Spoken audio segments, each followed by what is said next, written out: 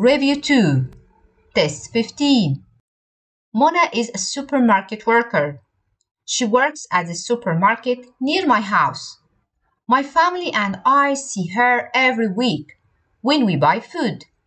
Mona checks the food is fresh. She helps us when we can't find something.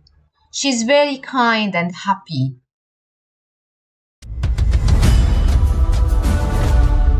Step ahead together to a bright future.